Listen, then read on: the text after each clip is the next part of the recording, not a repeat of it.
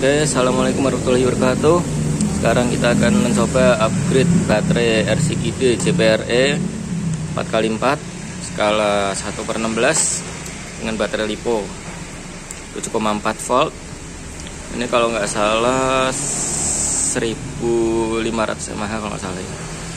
Oke, pertama-tama kita buka dulu casing baterainya dan keluarkan baterai bawaannya.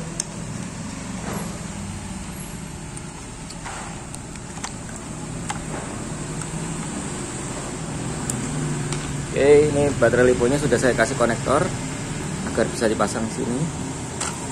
Kabel merah ketemu kabel merah, biru hitam ketemu hitam.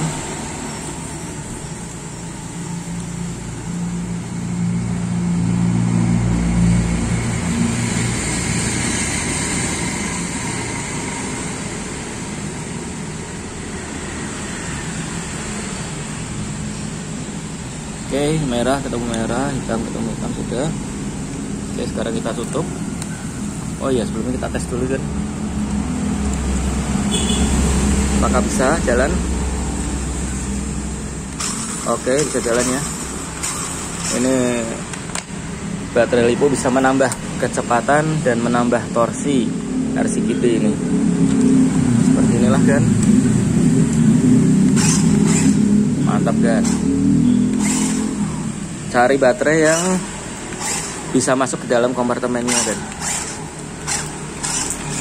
mantap kan oke sekian dulu videonya. Wassalamualaikum warahmatullahi wabarakatuh. Siap